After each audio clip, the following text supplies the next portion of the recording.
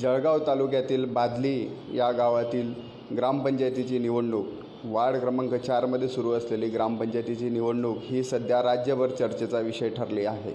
याचं मुख्य कारण म्हणजे या वार्डातून स्त्री प्रवर्गातून तृतीयपंथी अंजली पाटील यांनी उमेदवारी अर्ज दाखल केलेला आहे. त्यामुळे आगामी काळात ह्या निवडणुकीत कोण जिंकणार ह्याकडे सर्वांचं लक्ष लागून आहे.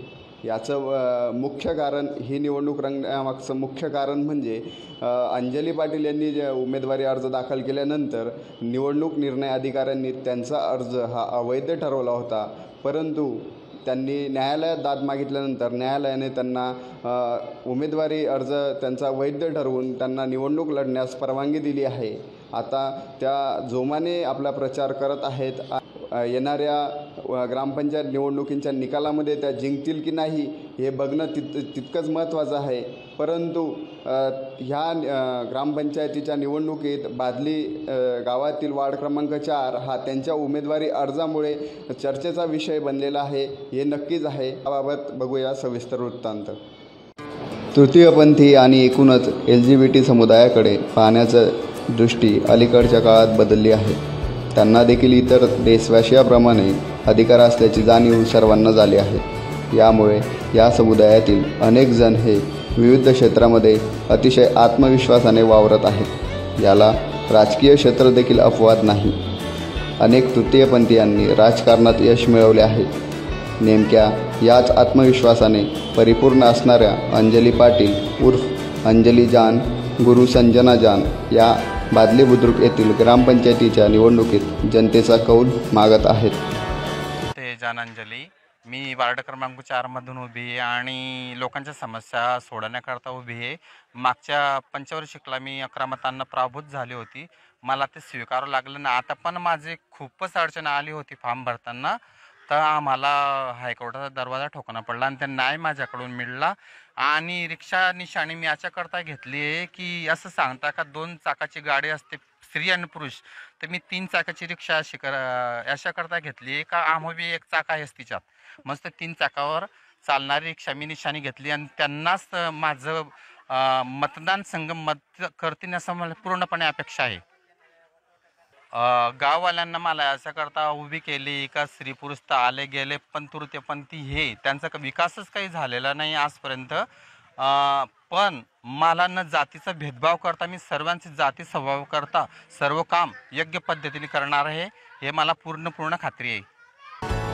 अंजली पाटील यांनी दोन हजार पंधराच्या निवडणुकीत देखील अर्ज भरला होता. त्या निवडणुकीत फक्त अकरा मतांनी पडल्या. मात्र नंतरच्या काळात त्यांनी सातत्याने गावात जनसंपर्क ठेवण्यावर भर दिला. सातत्याने लोकांशी संपर्क ठेवला. हेटाळणी अवेलना सहन करत देखील शांत चित्ताने त्या काम करत राहिल्या आणि यंदाच्या ग्रामपंचायत निवडणुकीत अर्ज भरला आहे. मात्र तो अर्ज देखील रद्द करण्यात आला होता.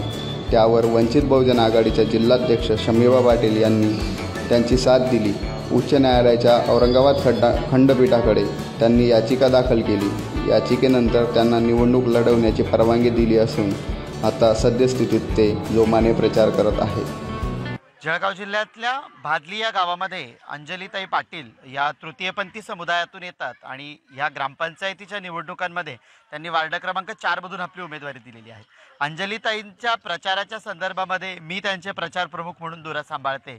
तर त्यावेळी एकूणच इथल्या पूर्ण वार्डातल्या आणि गावातल्या लोकांचा प- जो सकारात्मक असा प्रतिसाद आहे इथल्या प्रत्येक स्त्री पुरुष महिला आबालवृद्ध प्रत्येकाची सहभागिता आहे. आणि अंजलीताईंना गेल्या पंचवार्षिकला अकरा मतांनी अंजलीताई पराभूत झाल्या होत्या. तर यावेळी इथल्या सगळ्या स्थानिकांची स्वतःची मनोमन इच्छा आहे की यावेळी त्या एकशे अकरांच्या प्रचंड लीडने निवडून येतील अशा पद्धतीने एक पॉझिटिव्ह असा रिस्पॉन्स आहे. आणि यामागे मी म्हणेल की खंडपीठाने दिलेला निर्णय आणि खंडपीठाने दिलेला निकाल आणि अंजलीताईंनी केलेली लढाई या लढाईचे हे सगळे पॉझिटिव्ह रिस्पॉन्स आहेत. आणि ते पॉझिटिव्ह रिस्पॉन्स अठरा तारखेला ज्यावेळी निकाल लागेल तर त्या निकालाच्या पेटीतून विजयाची जयमाळा त्यांच्या गळ्यामध्ये म्हणून दिसतीलच.